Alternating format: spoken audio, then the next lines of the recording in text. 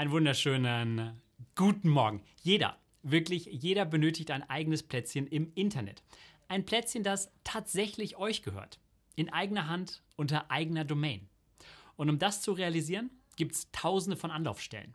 Ich will heute mal mit micro.blog eine der wirklich unzähligen Möglichkeiten vorstellen und beschreiben, wie ich mir dort abseits vom iPhone-Blog mein ganz persönliches Zuhause eingerichtet habe.